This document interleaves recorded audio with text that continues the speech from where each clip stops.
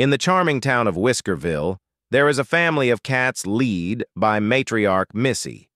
The Missy family has two tomcats who think they rule their suburban kingdom from a luxurious couch. Murphy, a sophisticated white cat with gold patches on his back and head, and Maddy, a youthful, full ginger mischief maker.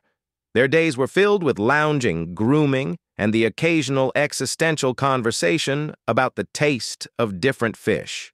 As boys, they have a special bond with each other, more than with the girls in the family. Murphy, with his distinguished air, considered himself the mentor to young Maddy, who was more interested in exploring the physics of flying food than in Murphy's tales of the Great Mouse Hunt of 2009.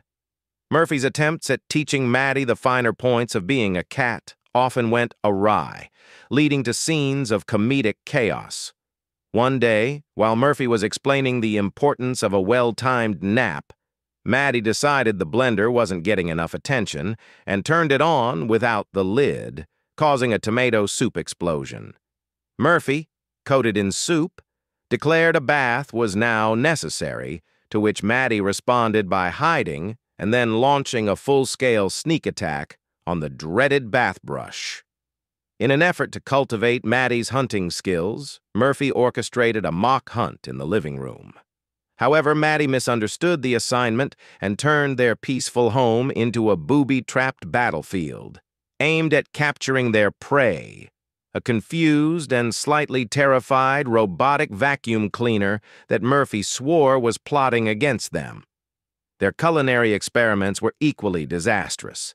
Murphy tried to teach Maddy the art of fine dining by sneaking them into the kitchen to swipe salmon from their humans' plates. Maddy, however, was more interested in the physics of food flight, launching salmon into the air with a fork catapult, aiming for Murphy's open mouth, but instead decorating the walls with fishy artwork. Even their interactions with technology were fraught with humor. Murphy once attempted to show Maddy how to use a tablet for educational purposes. Maddy, however, found a cat game app and became so engrossed that he accidentally ordered 200 cans of tuna with one-day delivery.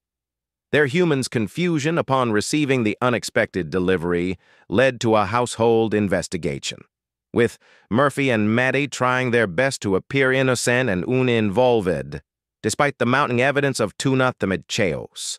Their daily lives were uh, a series of comedic misadventures. When Maddy discovered the joy of unrolling toilet paper, Murphy saw an opportunity to teach him about the physics of rolling objects. The lesson quickly turned into a competition to see who could unroll the paper the fastest, resulting in a house wrapped in toilet paper and two very proud cats sitting atop their fluffy throne. The duo also had their share of outdoor escapades, albeit under the watchful eye of Murphy. Attempting to teach Maddy about the art of stealth, Murphy would lead by example, moving with grace and silence.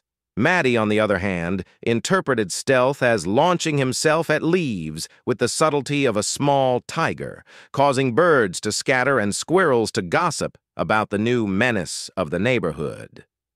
On quieter days, Murphy tried to instill in Maddy an appreciation for the finer things in life, like the art of lounging in sunlight. Maddy, however, saw sunbeams as performance stages for his dramatic interpretive dances, complete with shadow puppet shows that left Murphy questioning his teaching methods.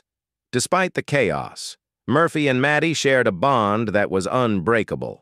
Murphy, with his refined tastes and old-world charm, found joy in Maddy's unbridled enthusiasm and knack for finding humor in the mundane. Maddy, in turn, adored Murphy's attempts at sophistication and loved nothing more than the moments when he could make Murphy laugh, even if it was with a mouthful of tuna.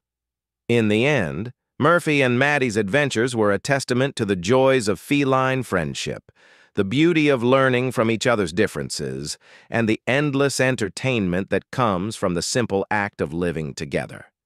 They might not have always seen eye to eye, especially when it came to the best method of tuna consumption, but they shared a home, a series of comedic misadventures, and a heartwarming companionship that made every day a new and hilarious journey.